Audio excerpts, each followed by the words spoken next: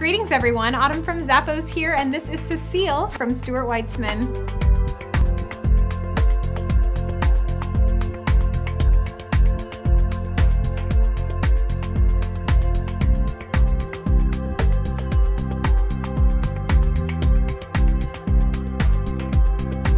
These beautiful heels are made with a soft suede upper that's got these cute cutout details that really give it some style. You have an open toe as well. Slip these on, the inside is gonna be a really soft leather lining and you've got some nice cushioning throughout the footbed. The main event is the lucite heel. It just kind of gives it a cool flare, but it's not too loud. It's a nice thick shape too, so that way you're gonna be sturdy with every step. And the bottom is a leather outsole.